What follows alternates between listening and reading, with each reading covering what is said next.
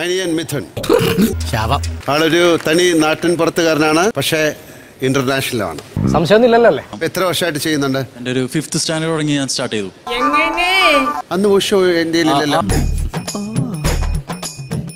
Wushu ഇപ്പൊ കുറച്ച് നാളായിട്ടില്ലേ? കുറച്ച് നമുക്ക് വേറെല്ലാം പറയാം. Okay okay. കുറച്ച് നാളല്ല ആ സമയത്ത് ഉണ്ട്.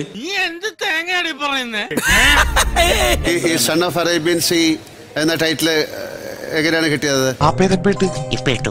ചവിട്ട് കൂട്ടി ഞാൻ അത് ഒരു ചാമ്പ്യൻഷിപ്പിന് കഴിഞ്ഞിട്ട് പാകിസ്ഥാന്റെ നിന്ന് കിട്ടിയതാണ് എനിക്കത്.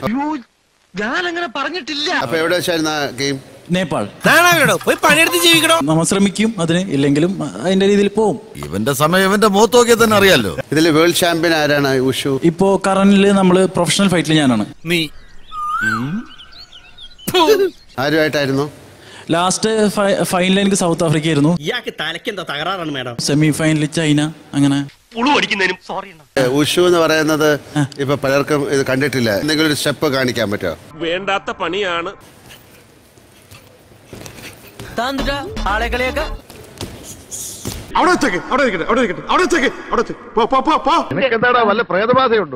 ഓരോരോ ലീലാവിലാസങ്ങൾ. പിന്നെ അതേപോലെ റെസ്ലിംഗ് ഉണ്ട് ഞാൻ.